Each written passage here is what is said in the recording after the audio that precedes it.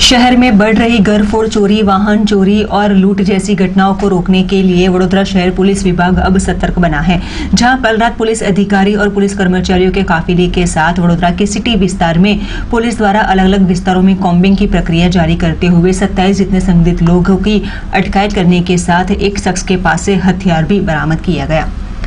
वडोदरा शहर में आए दिनों मानो चोर तस्कर और चोर लुटेरी टोली काफ़ी फूली फली हो। वैसे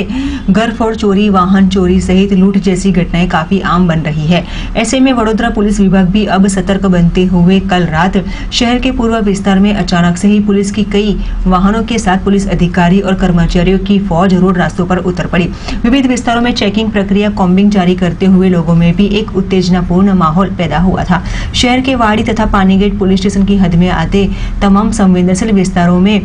देर रात 200 से भी अधिक पुलिस अधिकारी और कर्मचारी वाहनों के साथ डस आते हुए पुलिस द्वारा सघन कॉम्बिंग प्रक्रिया जारी की गई, जिसमें जानकारी प्राप्त हुई थी कि शहर में घरफोड़ चोरी लूट जैसी घटनाओं को रोकने के लिए और असामाजिक तत्वों को ढूँढने के लिए इस प्रकार की कॉम्बिंग की कार्यवाही जारी की गई। जिस संदर्भ में पुलिस अधिकारी ने बताया था कि वाड़ी और गाजावाड़ी विस्तार से सत्ताईस जितने संदिग्ध लोगों को कस्टडी में लिया गया है 150 जितने वाहनों को चेक किया गया, जिसमें से एक वाहन से तीक्ष्ण हथियार भी बरामद करते हुए कानूनन कार्यवाही जारी की गई है तो वहीं भटकते ढोर के मुद्दे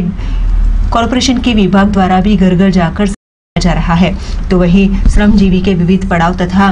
खुली जगहों पर भी पुलिस विभाग द्वारा चेकिंग प्रक्रिया जारी करते हुए इस प्रकार की घटना के साथ वडोदरा शहर के लोगों में एक उत्तेजनापूर्ण और कुतूहल माहौल देखने को मिला था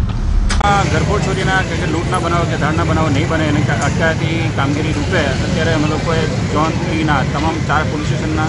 લગભગ એકસો પચીસ જેટલા અધિકારીઓ અને પોલીસ કર્મચારીઓને બોલાવીને કોમ્બિંગ ઓપરેશન શરૂ કર્યું છે અત્યારે હાલમાં અત્યારે વાડી અને પાણીગેટ વિસ્તારના અ, જેટલા જે શંકાસ્પદ વિસ્તારો છે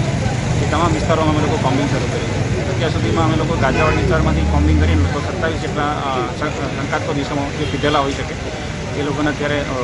કસ્ટડીમાં લીધા છે લગભગ એકસો ચાલીસ જેટલા વાહનો પણ અમે લોકોએ અ, ચેક કર્યા છે શંકાસ્પદ વાહનો છે એકાદ વાહનમાંથી અમને લોકોને જે હથિયારો હથિયાર મળ્યું છે અ, તીક્ષ્ણ હથિયાર મળ્યું છે એની પણ હવે કાયદેસરની કાર્યવાહી કરીશું